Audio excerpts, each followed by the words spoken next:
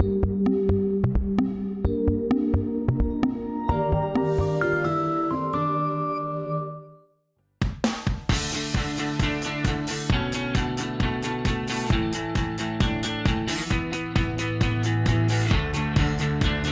name's Ian Fisher. I'm the engineering CAD administrator here at Kvichak, and I'm in charge of managing all of our data set, including our CAD practices. We manage very large model sets and they require some babysitting.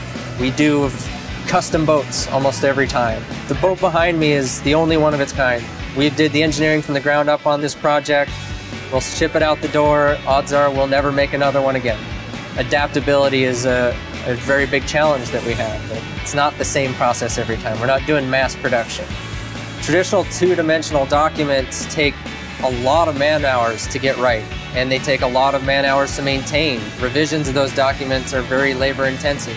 One of the big challenges that we ran into is having to pay somebody to run around and manage all the prints. If a print went, uh, got revised, they would have to go hunt down all the old prints, gather them up, and replace them with new prints. And that was a full-time job.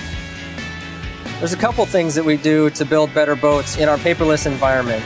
On all of the plate, we laser etch all the lines where every piece of plate touches up against another piece of plate. So by adding those mark lines to all of our plates, which we do in SolidWorks, and then adding Composer to the shop floor where they can click on a plate and say, hey, that's the one I'm holding. It's got a serial number on it. They can match up all the plates together and they just, like paint by numbers, it goes right together and then they just weld.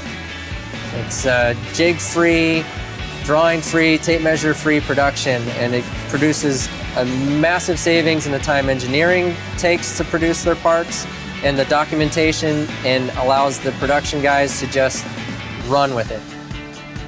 Yeah, at Kvichak we use a pretty elaborate EPDM implementation. We use it very much like a project management tool as much as just a, a data management tool.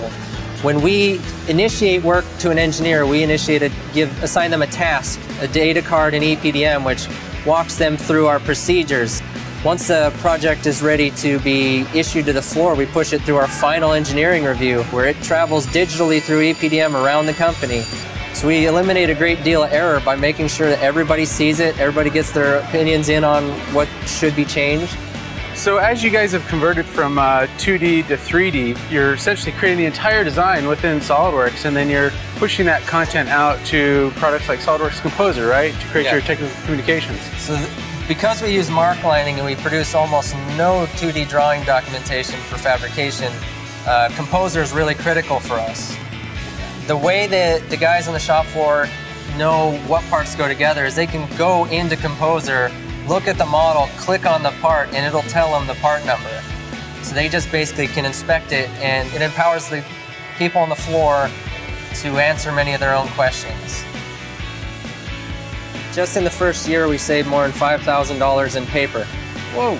just by going paperless on the floor. Total on our floor, we have probably about five grand worth of computer hardware. It breaks even in the first year, but every year after that, we've, we've made money. For more information, contact your nearest SolidWorks reseller or explore us further on the web.